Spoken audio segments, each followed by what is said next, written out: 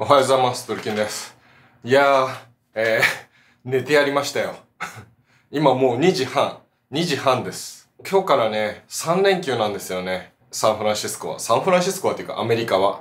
なので、えー、もう今日はボディバッテリーをできるだけ充電するために寝ました。81%ですね。やっぱりね、なかなか100%まで回復する。まあでも、寝てやったって言っても昨日寝たのが3時半ぐらいだったんで、3時半 AM ぐらいだったんで、まあ昼まで寝たからとはいえ、なんか睡眠時間が正しいのかわかんないですけど、なかなか100%までいかなくて、えー3時半から午後1時まで寝て、91%ぐらいまでしかボディバッテリーは回復しませんでした。やっぱりちょっとしかも何回か夜中に目が覚めたのと、あとあれかな？前の日にビール飲んだからかな？なんかちょっと連休前の開放感でビール飲んじゃったんですよね。それでボディバッテリーの回復があんまり良くなかったかもしれないです。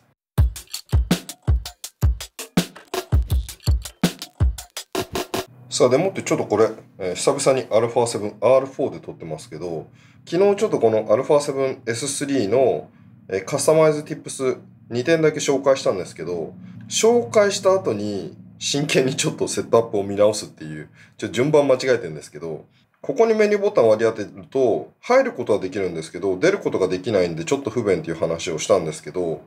なんかやっぱりこのメニューはそもそもこの入った時に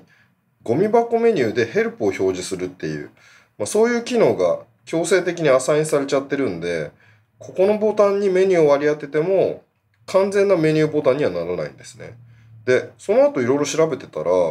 C1 とかこういう純粋なカスタムメニュー C1 ボタンにメニューボタン割り当てれば本当にこうメニュー開いて階層入って1個戻って戻ってメニュー消えるみたいな完全にこっちのメニューボタンと全く同じ機能が実現できるっていうこれに気づけました。ちょっと遠いんですよね。まあでもギリギリ片手で操作できるんでまあ他にもうちょっといい場所がないか今検討してるんですけどここの C1 ほとんど何も使ってなかったんでこの C1 にメニューを当てたら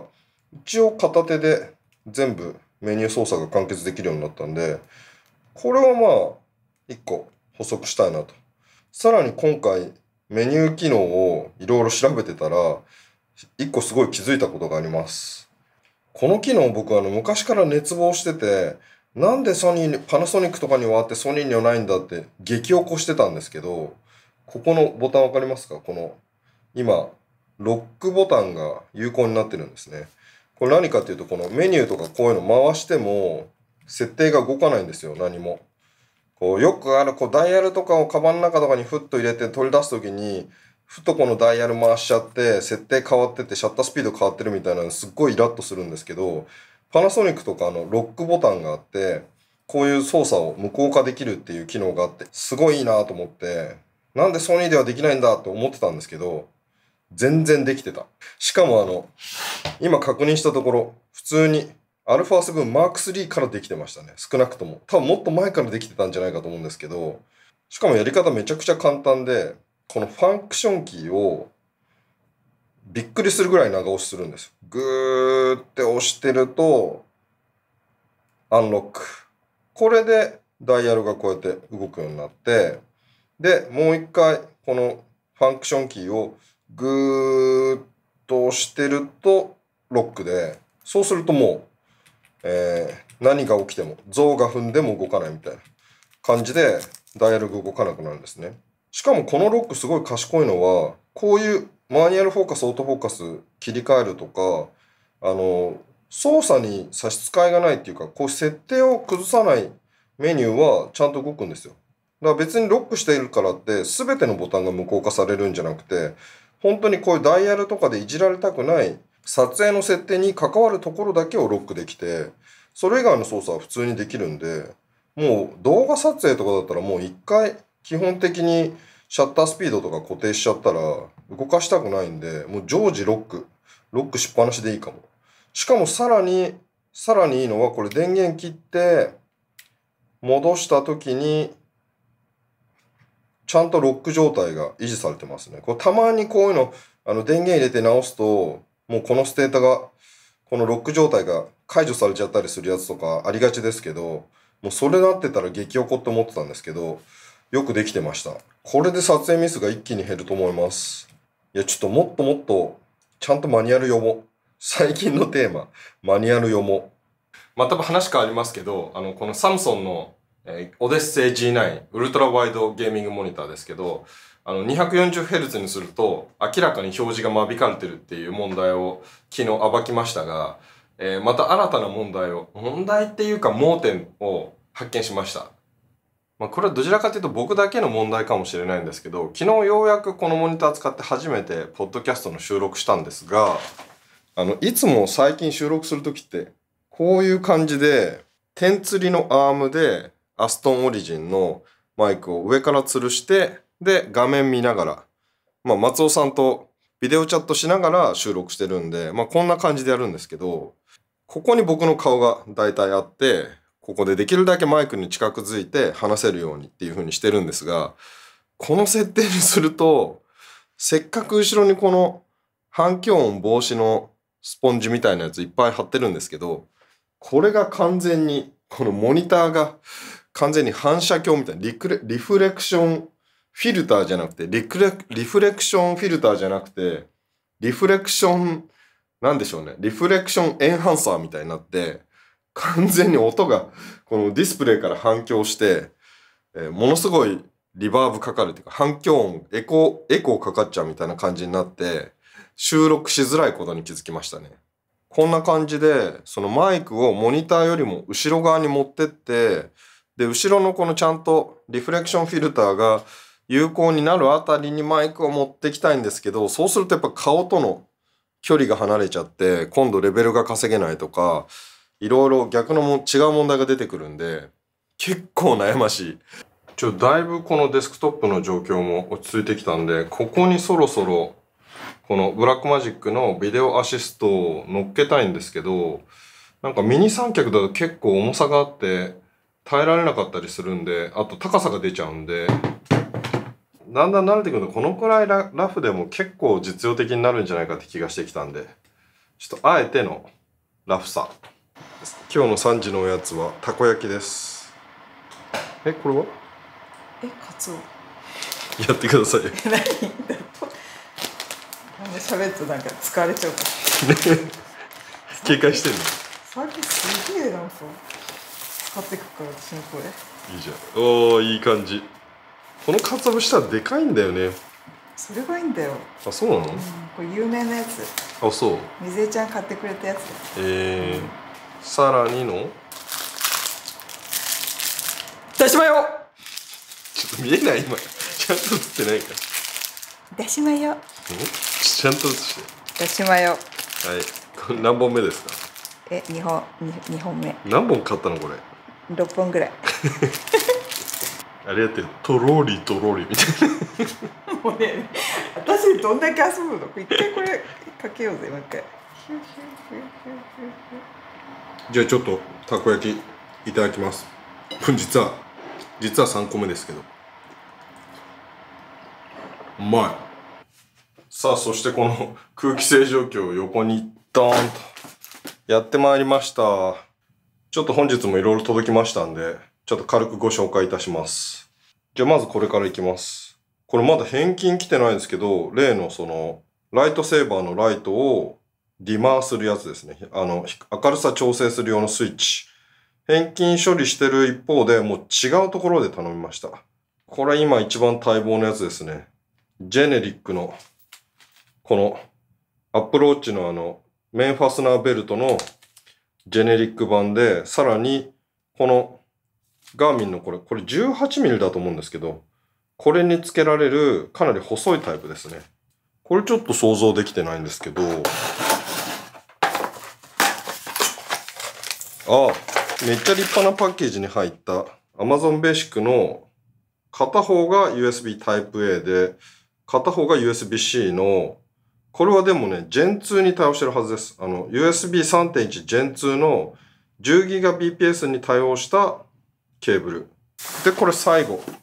じゃじゃーん。29A1049。なんだろうこれ。この数値はわからんですが、はーンと開けると、来たシュワー来ました。よっと。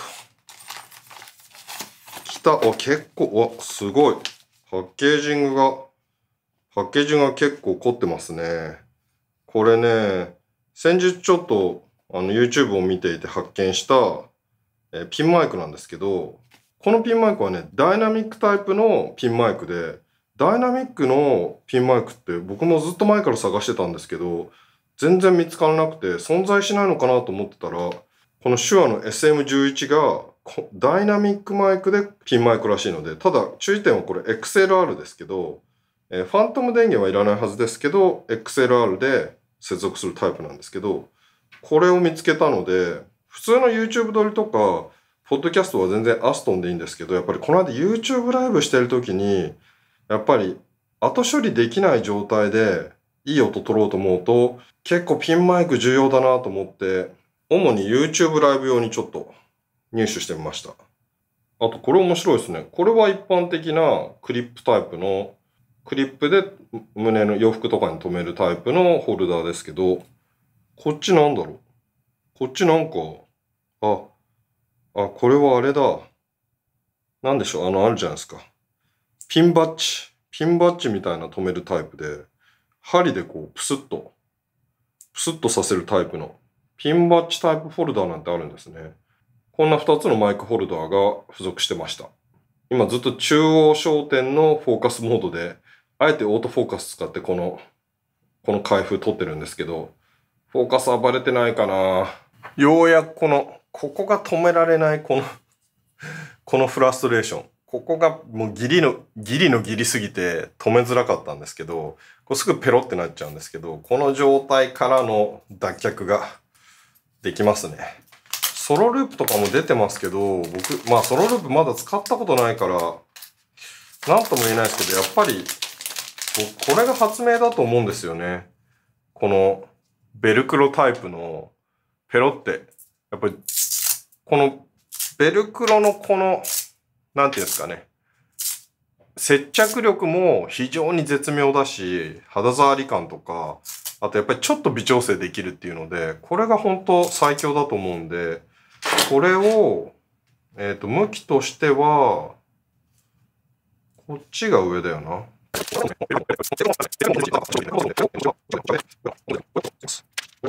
これで、わ、これでバッチリ。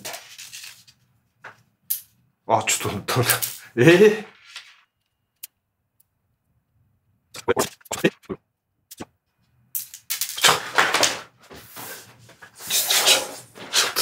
どうなってんのこれ？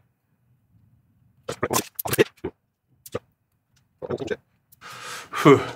苦労した。これで、これで大丈夫でしょ、今度こそ。これバッチリつけたので、これで、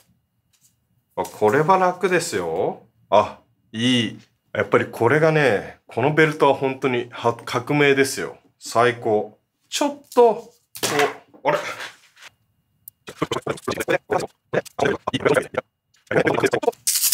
ふうこれで、ちょっとここを緩めて、ここをね、少しここ、なんか位置変えたいとか、ここちょっと汗ばんできた時に乾燥したいとかいう時に、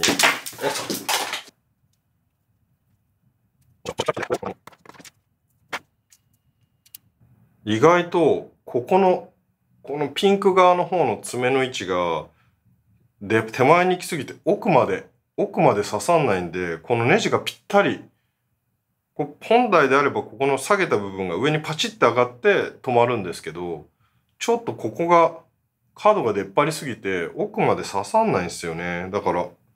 ちょっとここの角を削ってあげないとダメかもしれないですね。ちょっとここが削れれば多分いいんですけど、意外とこれ、ニッパーで削れるレベルじゃないなここが多分、あ、やっぱり足んないんですよね。まあ、こっちの、ここ削るのはさすがに勇気がいるんで、こっち側を削ってクリアランス取りたいんですけど、なんか溶かしたりとかした方がいいのかな？ここが意外と金属で、これプラスチックで作ってるのかと思ったら、金属のパーツで、あの、ピンクに塗られてるだけだったんで、結構切ろうと思っても簡単には切れないですね。僕の持ってるような工具じゃ無理で。ガーミン対応って書いてあるのに、もう一個同じの頼んだら普通にはまっちゃいそうな気もしますけど、ちょっとショック。めっちゃこのベルト楽しみにしてただけに、付け心地が全然違うんで、ショックでかすぎます。よし。これは終わってるだろう。ちょ、せめて。よしよし、バッチリ終わってますね。さあ、じゃあちょっとこれを実際に、ここに置いて、立ててみますか。今日これぐらいはうまくいってほしいな。見てください。これダヴィンチ使って、じゃんと。ここにセカンドモニターで、しかも今時のダヴィンチリゾルブなら、こっちにあの、クリーンフィード出せるんですよね。あの、モニターするのに、昔はあの専用の、専用の PCI カードをつけないといけなかったんですけど、今はセカンドモニターに出せるんで、これはかなり編集効率よくなりますね。今日も終わり良ければ全てよしってことにしましょう。いや、これはでかい。Yeah,